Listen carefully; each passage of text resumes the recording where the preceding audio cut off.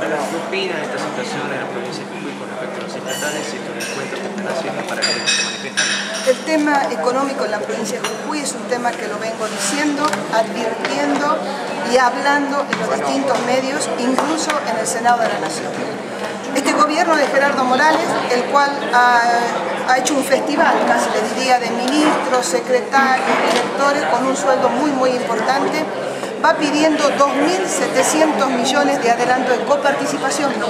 En algún momento tenemos que devolver, eso es parte de nuestra coparticipación y nos presta Nación.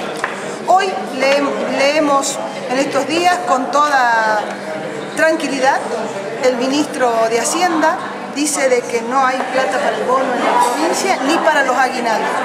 Entonces yo le preguntaría, ¿qué es lo que están haciendo con la plata? Hoy el, gobernador creo que con una comitiva, creo que algo así de 10 personas, después de haber estado en Marruecos, después de ir a Italia y después de ir, creo que también en Alemania, están en China todavía, ¿no es cierto?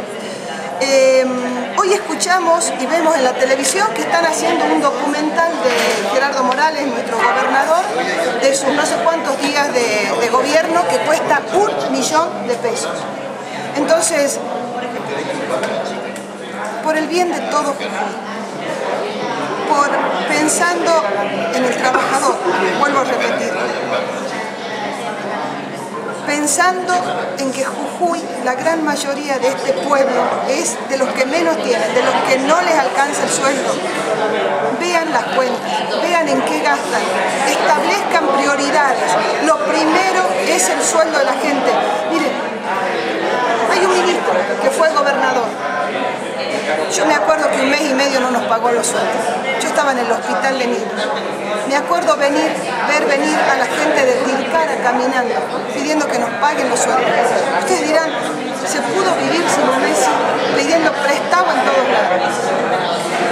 Me acuerdo también del vicegobernador aquí, y esto era, esta, este, provincia era un festival de bomba. Leco, Patagonia, todas esas cosas.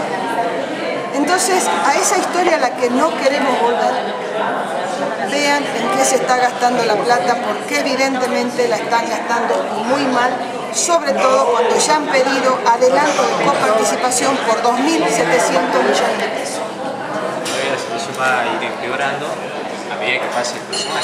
Y yo veo que sí, este, yo veo que en estas cosas el tema del parque solar es muy bueno pero es para una provincia que se puede dar el lujo de invertir a futuro. Y hoy nosotros tenemos un problema hoy, en donde la gente no está bien desde lo social, donde hay hambre, donde vuelve a quedarse esa gente que menos tiene en la calle. Así que en ese sentido,